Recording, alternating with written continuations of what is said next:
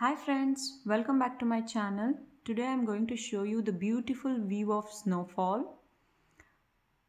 Yes, we wake up to this amazing view.